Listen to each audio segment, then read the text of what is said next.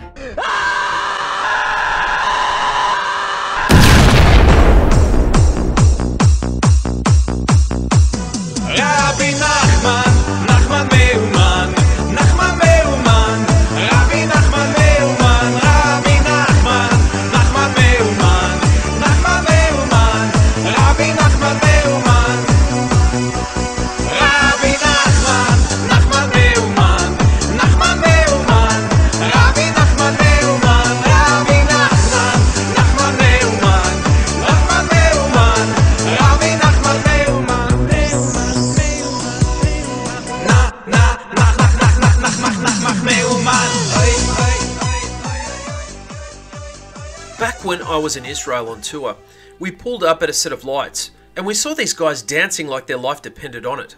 And it slowly dawned on me that there was a joy in the Torah that I might have missed. Who were these guys? And why were they so dang happy? I had to find out more, and I did. So let's start at the beginning, in the town of Metzibish, now modern day Ukraine, where a man came to the world and literally pulled the pin out of the Torah and threw it like it was a hand grenade.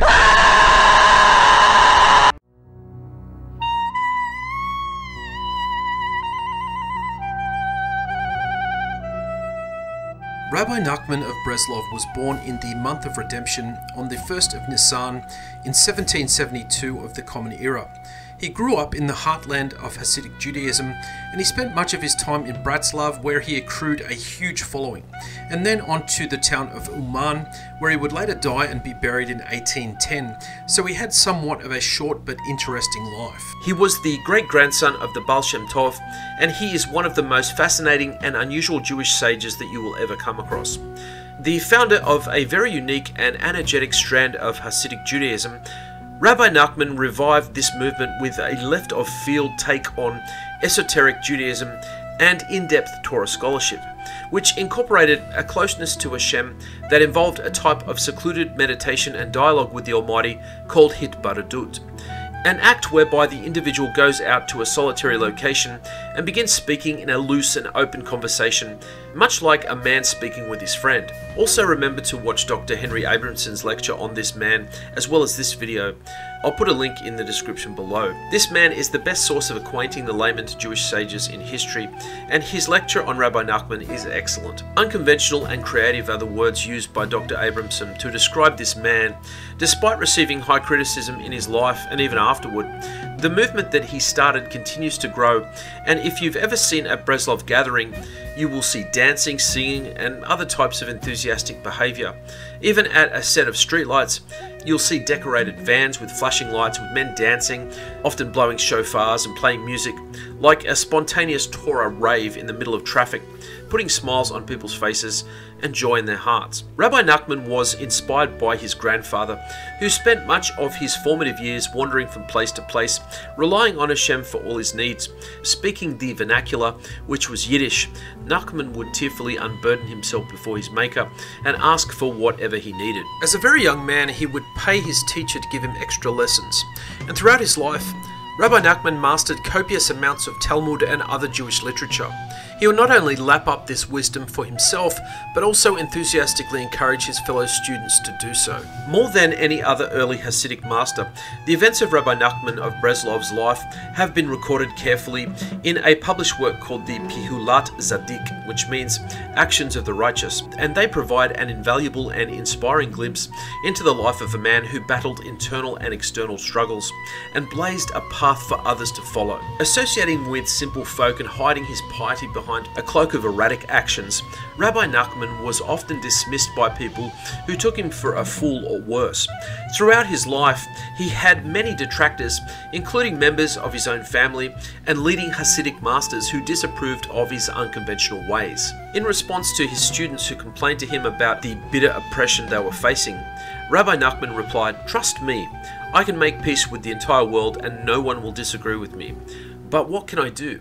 There are certain spiritual chambers that can only be accessed through overcoming strife. Citing Moshe Rabbeinu, whose career was dotted with people questioning his ways and trying to instigate rebellion. His time of leadership roughly parallels that of the founder of Chabad, Rabbi Shneur Zalman of Liadi, whom he greatly respected, who passed away two years after he did. Yet their paths differed in significant ways. While Rabbi Nachman viewed intellectual achievement as an impediment to overcome, Rabbi Shneur Zalman saw it as a pathway through which one could come close to Hashem. Now, here is one of the things that made him unique. Where Rabbi Shneur Zalman wished to elevate the simpleton into a scholar, Rabbi Nachman wanted to teach the scholar to emulate a simpleton. Sounds strange? Well, not really.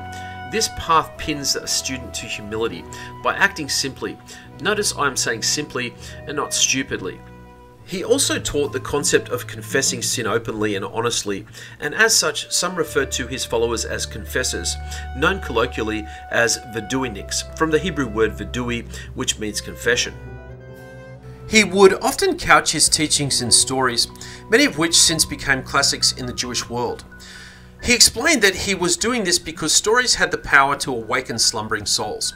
Telling of princes and paupers, kings and knaves, sinners and saints, the stories contain deep Kabbalistic secrets as well as practical lessons.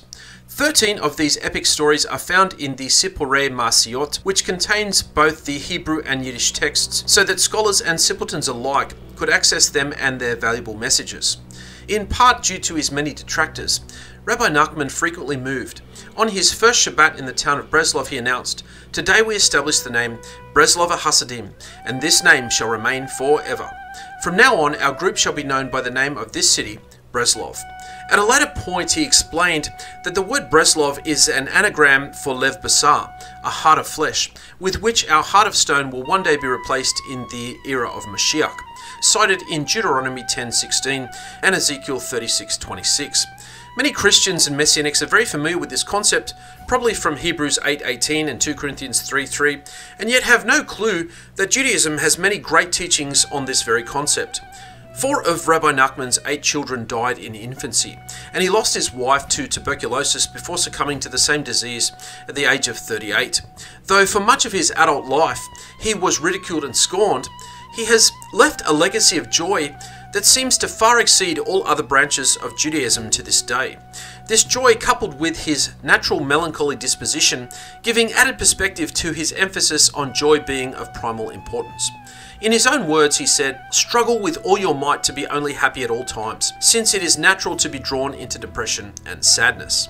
In regard to the act of hitbodedut, Rabbi Nachman taught to establish at least one hour to be alone in a room or in a field, and to express in conversation between himself and his Maker, including complaints and excuses, apologies and reconciliation, and beg him to lead him to serve him in truth. This conversation should be in the vernacular in which he can best express himself and whatever lies in his heart, both regret for the past and wishes for the future. He should take care to accustom himself to do this every day at a set time, and the rest of the time he should be happy. And this is taken from Likutei Maharan Tinyana 25. He also selected 10 Psalms to be read in sequence, and he described this as having a wondrous remedy. Psalm 16, 32, 41, 42, 59, 77, 90, 105, 137, and 150. If one recites this Psalms with kavana, that is with spiritual concentration, it is a fantastic remedy for the wasting of seed, if said within 24 hours of the act. Someone who recites this sequence daily builds a huge barrier to this sin and other shortcomings as well. In Hebrew, this is called tikkun haklali, which means the general remedy or repair. Much of the Likutei Maharan is made up of Kabbalistic teachings and interpretations. However, it also contains words that have since become widespread as base lyrics for some popular songs, some of which contain the following. It is a great mitzvah to always be joyous. A man must cross a narrow bridge, and the main thing is not to fear at all. It is forbidden to give up on yourself. And even in hidden places, and even within the hidden within the hidden, certainly God is embedded within that as well. In 1807, when passing through the city of Uman, on his way from Zlatopol, where he had been persecuted, to Breslov, where he was to be welcomed, he stopped off in an old Jewish cemetery. There in front of him stood two mounds, where were buried the Jewish victims of a vicious massacre carried out in 1768 by Ivan Gonta and his mob of Haidamak rebels. Standing between the mounds, Rabbi Nachman said, It is good to lay here. Sure enough, he passed away in Uman and was laid to rest in that exact spot. I thought I would finish with one of Rabbi Nachman's stories. I thought this following story in particular is very good because it encapsulates the practicality of choosing to be joyful despite facing hardship. Enjoy. The diamond and the wheat. There was once a poor man who earned a living digging clay and selling it. Once, while digging clay, he discovered a precious stone which was obviously worth a great deal. Since he had no idea of its worth, he took it to an expert to tell him its value. The expert answered, There is no one here who will be able to afford such a stone. Go to London, the capital, and there you'll be able to sell it. The man was so poor that he could not afford to make the journey. He sold everything he had and went from house to house, collecting funds for the trip. Finally, he had enough to take him as far as the sea. He then went to board a ship, but he did not have any money. He went to the ship's captain and showed him the jewel. The captain immediately welcomed him aboard the ship with great honor. Assuming he was a very trustworthy person, he gave the poor man a special first class cabin and treated him like a wealthy person. The poor man's cabin had a view of the sea, and he sat there, constantly looking at the diamond and rejoicing. He was especially particular to do this during his meals, since eating in good spirits is highly beneficial for digestion. Then one day he sat down to eat, with the diamond lying in front of him on the table where he could enjoy it. Sitting there, he dozed off. Meanwhile, the mess boy came and cleared the table, shaking the tablecloth with its crumbs and the diamond into the sea.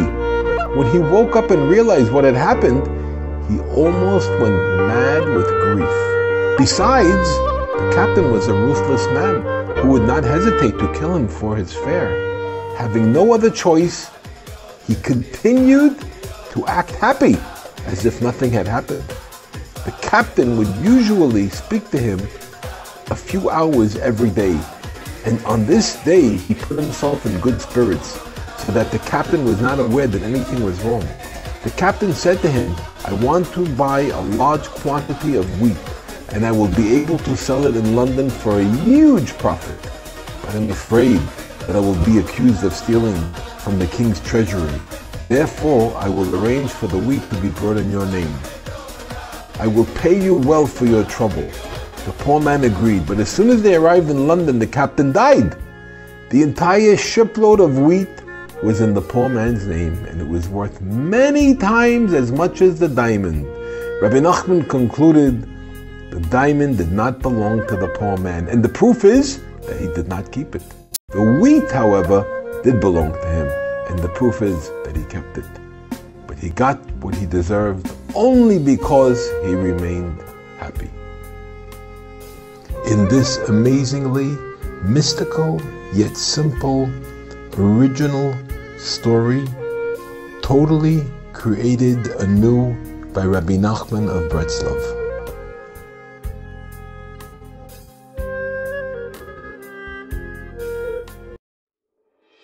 Hey there, before you go, if YouTube normally isn't your thing, you can check out the content of this channel also on Rumble, a new video platform for the more conservative viewer. Thank you for watching and bye for now.